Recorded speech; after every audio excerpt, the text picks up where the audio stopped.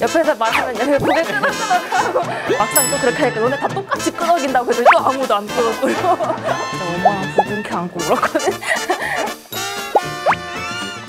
그냥 자격증도 하나도 없이 이 본인 경험 하나로 들어온 친구들도 정말 많거든요. 굳이 자격증은 그렇게 필수 조건이 아닌 것 같아요, 요새는. 본인이 경험한 만큼 본인이 충분히 보여주신다면 은행에 합격하지 않으실까? 않을까? 제가 이제 생각했을 때 되게 딱딱한 분위기를 처음에 생각했었는데 요즘에 본인이 많이 쓰는 카드는 무엇인지 예를 들어 배달의 민족에서 결제를 실제 해봤는지 이런 걸 되게 궁금해 하시더라고요. 저도 면접 보는데 본인이 쓴 자기소개서 기반해서 질문을 하시고 보통 면접 때 가면은 이렇게 일자로 꼿꼿이 앉아서 옆에서 말하면 여기 고개 끄덕끄덕하고 그런 말이 있잖아요. 근데 막상 또 그렇게 하니까 너네 다 똑같이 끄덕인다고 해도 또 아무도 안 끄덕거려. 큰 기업에서 그리고 스타트업 같은 작은 기업에서도 인턴을 똑같이 했었어요. 두 곳 다 이제 마케팅 관련된 업무였고 이 두 곳에서 인턴을 해본 경험이 면접관 분들에게 좀 일을 좀 할 줄 알겠구나 이런 인상을 준 게 되게 도움이 됐던 것 같아요. 저는 은행을 정말 많이 갔어요. 영화관, 뭐 카페 알바 이런 식으로 손님 응대를 좀 많이 하는 거 위주로 했었고요. 학교에서 하는 동아리 거의 다 금융권 준비용으로 많이 했었고 제 합격 비결은 제가 면접 들어갈 때 인사하는 사람이한테 목소리가 너무 커가지고 그 자신감 하나를 합격해 주신 게 아닌가 하는 생각이 듭니다. 본인이 이미 딱 문 열고 들어갔을 때부터 네. 될 거라고 네. 아, 확신이 드셨나요? 인사하고 나서부터 아. 아난 됐구나. 역시 자신감이 제일 중요한 것 같아요. 저는 합격하고 진짜 엄마랑 부둥켜 안고 울었거든.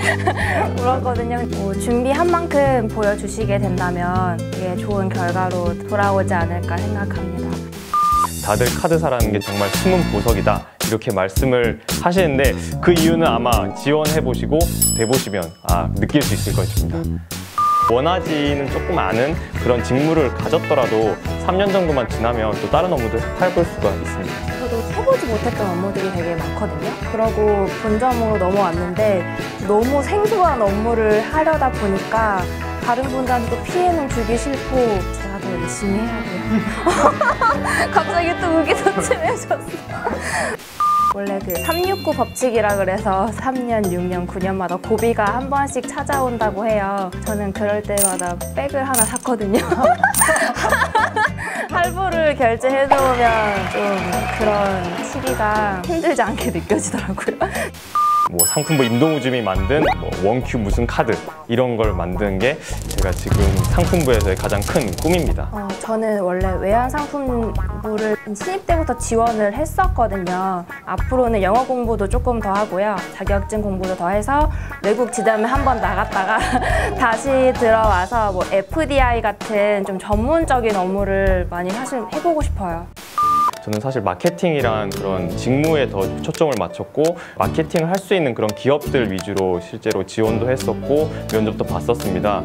꼭 금융권이 아니더라도 그런 직무에 있어서 좀 더 자기가 어떤 일을 하고 싶은지에 대해서 한 번 더 생각을 해보신다면 더 많은 기업들을 선택할 수 있을 것 같아요.